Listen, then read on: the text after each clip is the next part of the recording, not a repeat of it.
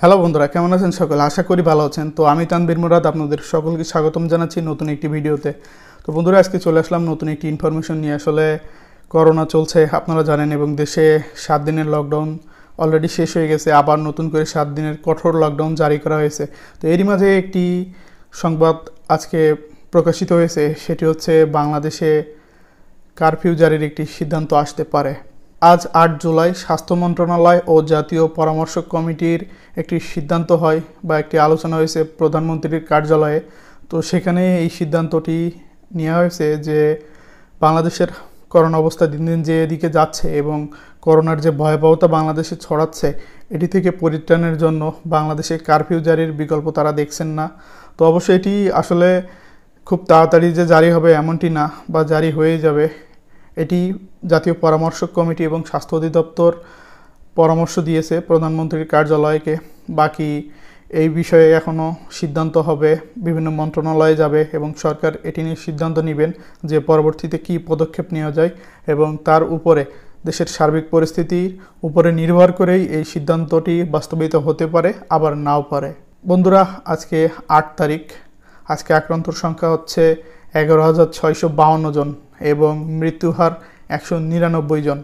গতকাল, তার মানে সাত জুলাই, সর্বোচ্চ মৃত্যু হার ছিল দুইশো জন এবং যে হারে বাংলাদেশে মৃত্যু হার এবং আক্রান্তের হার বাড়ছে, তো সামনের দিনে অনেক ভয়াবহ রূপ ধারণ করবে এটি মনে করছেন বিশ্লেষকরা। সাপোজ আজকে এগারো হাজার ছয়শো আক্রান্ত, কাল যদি এর ডবল হয় বা পরশু এর তিন ডবল হয়ে যায় এটি থেকে পরিত্রাণের জন্য লকডাউন তো চলছে, কিন্তু লকডাউন মানুষ সেইভাবে আসলে মানছে না, যার কারণে স্বাস্থ্য মন্ত্রণালয়ের মুখপত্র জনাব রোবেদ আবেদ, তিনি এই কথাটি বলেছেন যে, বাংলাদেশের মানুষ লকডাউন মানছে না, কিন্তু বাংলাদেশের মানুষ কারফিউ বোঝে।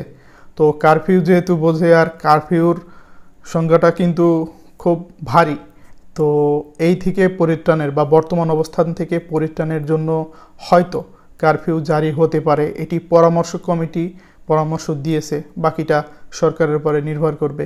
তো আপনাদের সকলের কাছে রিকোয়েস্ট থাকবে, আপনারা সকলে সাবধান থাকবেন, বাইরে খুব প্রয়োজন ছাড়া বের হবেন না এবং যাদের টিকা গ্রহণের সুযোগ আছে ৩৫ বছর যাদের শুরু হয়েছে এবং বাইশ ক্যাটাগরির ভিতরে যারা যারা আছেন, অবশ্যই টিকা গ্রহণ করে নিতে পারেন। আপনাদের জন্যই ভালো হবে। বন্ধুরা, এই ভিডিওটি যদি ভালো লাগে, অবশ্যই ভিডিওটিতে একটি লাইক দিবেন, একটি কমেন্ট করবেন কোথা থেকে দেখছেন এবং চ্যানেলটি একটু সাবস্ক্রাইব করতে পারেন। ছোট্ট চ্যানেল, চ্যানেলটিকে বৃহৎ পরিসরে নিয়ে যেতে আপনারাই ভূমিকা রাখতে পারেন। সাবস্ক্রাইবার বাড়লে কাজ করার অনুপ্রেরণা পাই। তো ভালো থাকবেন সকলে, দেখাবে পরবর্তীতে নতুন কোনো ভিডিও নিয়ে। আল্লাহ হাফেজ।